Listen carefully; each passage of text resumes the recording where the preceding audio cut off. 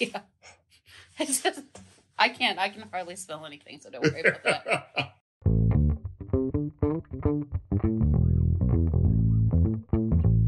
I live in Atlanta. I grew up in New Jersey. I've been working in technology for my whole career, as well as I studied it in college and got a master's degree. So I really like computers. Um, outside of work, I like to travel, watch a lot of movies, and recently, maybe the last three, four years, have been trying to play golf. So that is me.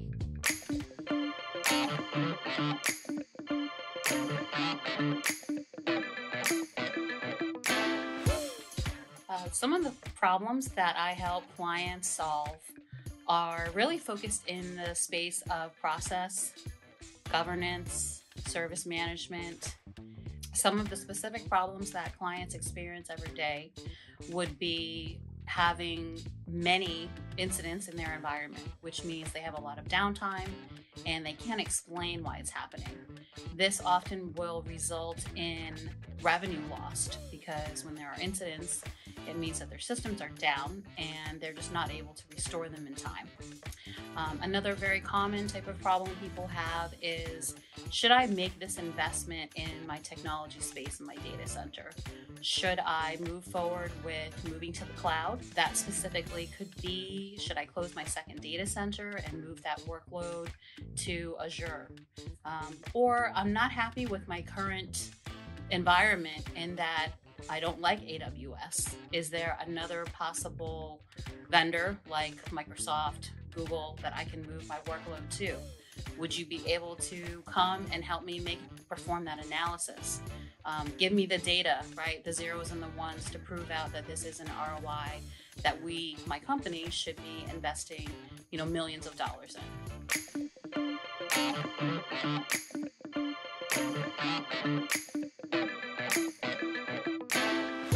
First, I would go through to understand what is the current state of how they work. This helps me establish a baseline and understanding of the day to day work performed. Oftentimes, this is when they have um, tribal knowledge, so nothing is documented, and everyone really just runs around in firefighter mode trying to restore systems, reboot them. But what happens is they are not addressing the root cause of the problems. And oftentimes, incidents are caused by changes to the environment. When you go and install a new package, right, a new enhancement update, and those often are also not properly tested. Um, sometimes this is what we also call service level management, where there is no agreement between IT, technology, and the customers that they support. Oftentimes, when this happens, everyone is up in arms, right? There are calls to executive directors and even the CIO complaining that the systems are not up and running.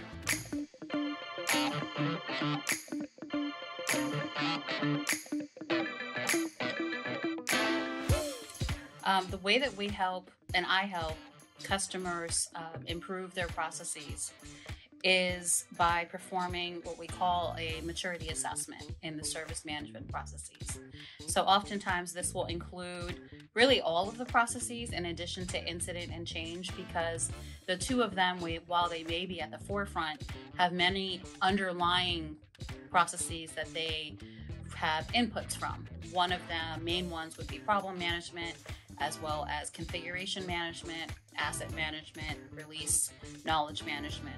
By performing the maturity assessment, this is where we take the baseline, understand the gaps to the best practices, and then define a recommendations built into a roadmap such that the client can follow those actionable steps um, to increase their maturity by filling the different gaps.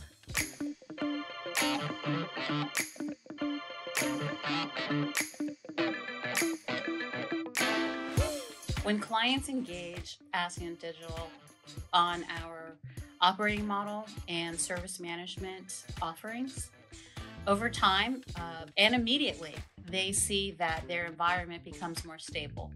Specifically, their measurable successes are that they no longer have incidents occurring on a daily basis. They are no longer in the firefighter mode.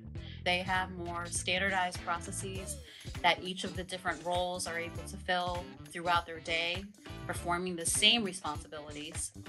And overall, just better work environment because instead of coming in and working on, you know, whatever's fire is has experienced that day and people coming in and yelling at them face to face they're able to be more more proactive in their work such that they're following standardized processes procedures they understand who works with who and overall the technology environment is more stable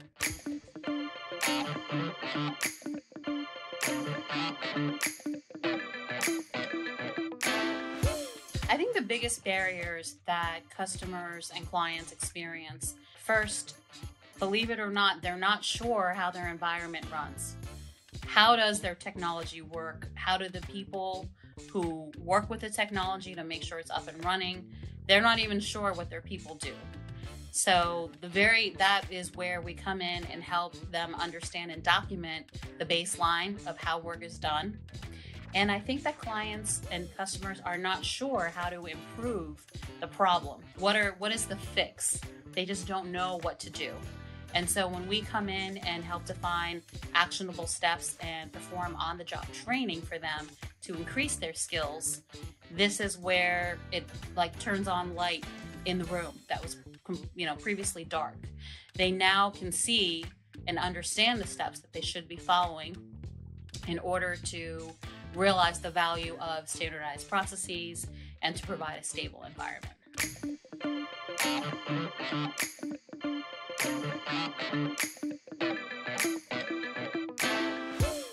I would have to say are first just being open to change and being willing to adopt the new practices that are they're being taught. Second is really just to maintain the the consistency to continue to do the new, you know, the new processes, the new roles, um, working with new people. The third most important theme is the executive leadership and buy-in to support these new changes. Um, it's important that there is sponsorship, continued sponsorship across to support the new policies, procedures from the top.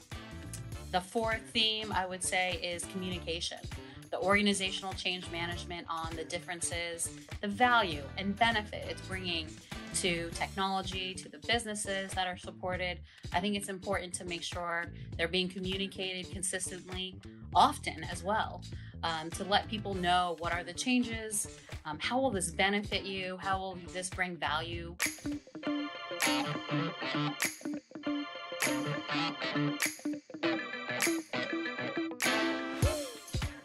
Um, the biggest value I see customers realize through a successful service delivery and service management is in the operations space just a very well run technology organization. As you know, the, the biggest value here for operations is to maintain as close to a you know five nines, so the 99.999 uptime, and that is really critical where their uptime will have increased. Um, there is almost no uh, occurring of major incidents, as well as overall happiness for the folks who work in service management and service delivery, whether it's the process owners, service center owners.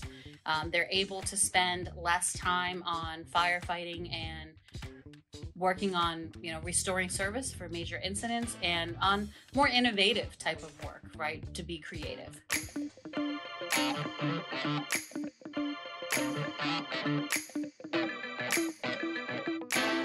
what makes ACCSCIENT Digital different um, as a consulting firm when working with clients and customers is first that we are vendor agnostic. We work with all platforms and really will analyze and determine the best one that is suited for the customer.